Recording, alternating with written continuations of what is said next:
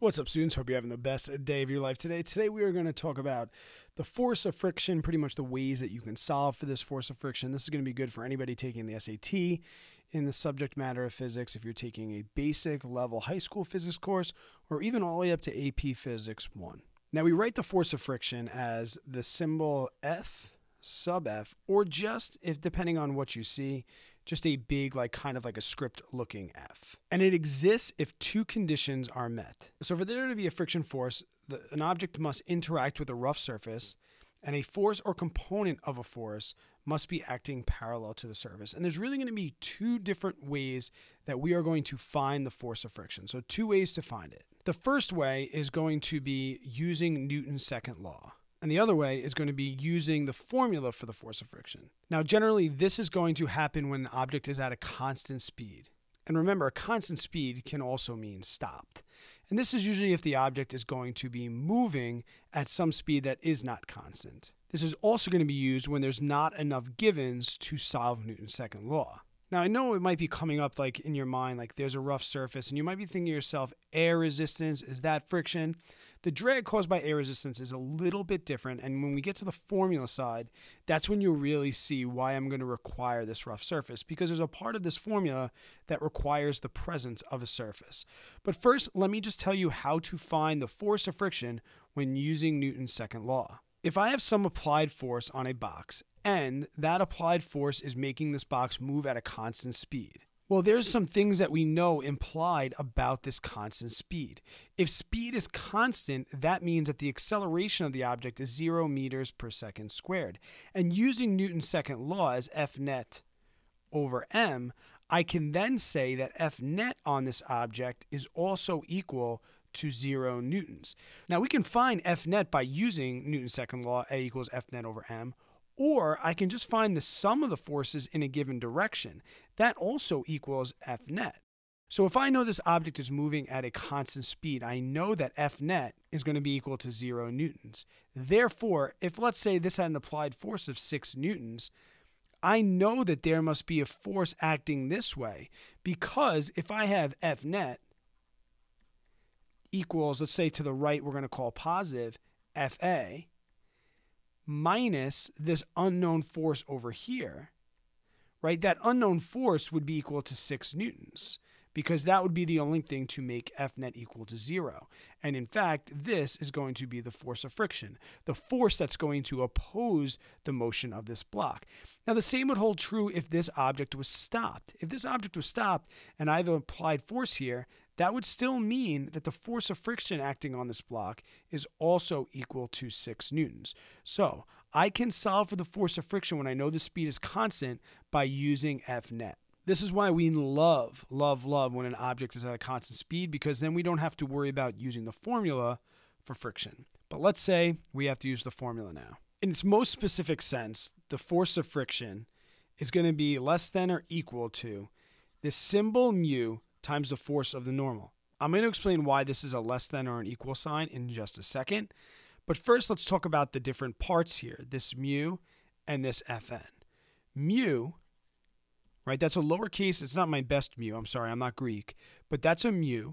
So we call this mu, and it's also equal to the coefficient of friction.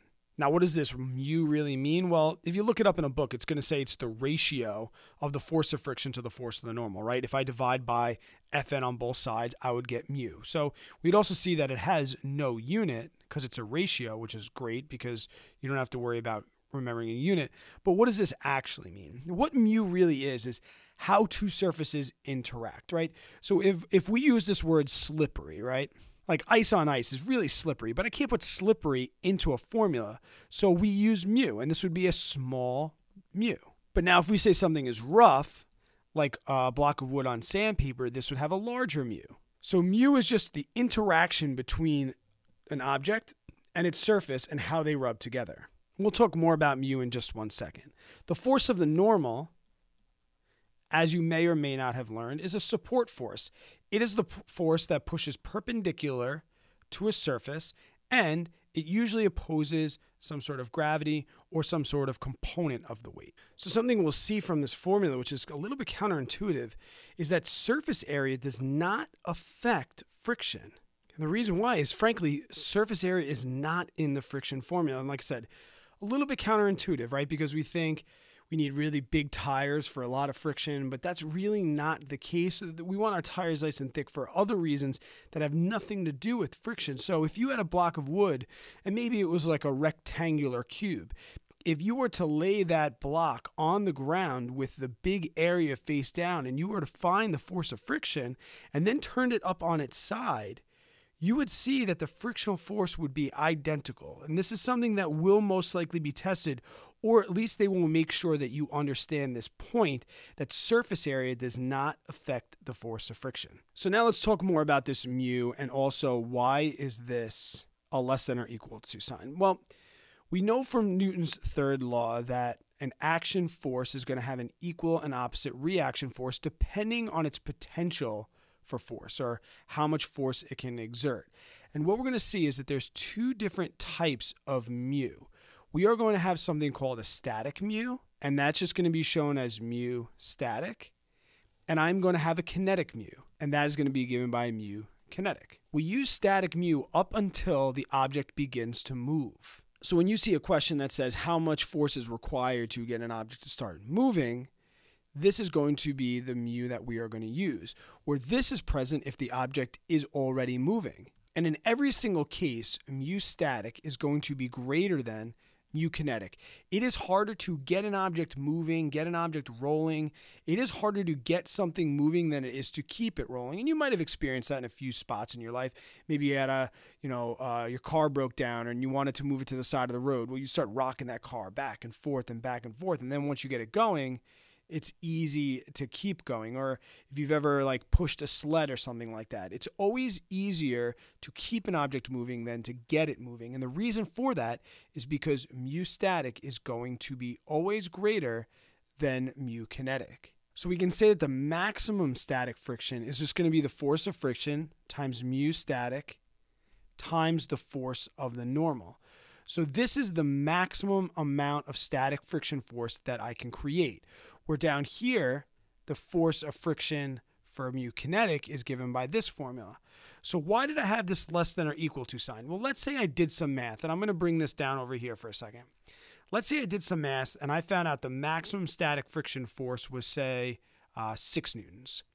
Well, if I had a box on here, right, and I was applying a force, and this box was not moving, and I had applied force of 1 newton, well, static friction force would be 1 newton. That would be due to Newton's third law. If I was to increase this now and say this is 5 newtons, well, then the friction force would act as 5 newtons.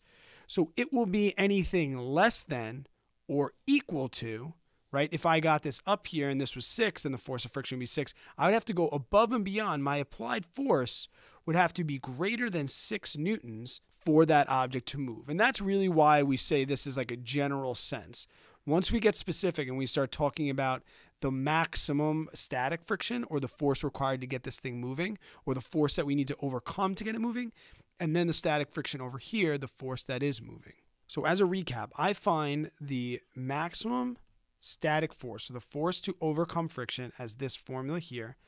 And then I find the static of, of kinetic friction by either saying mu kinetic times the force of the normal or it's equal to the applied force at a constant speed. And if you're new to the force of the normal, guys, there is no formula for the force of the normal.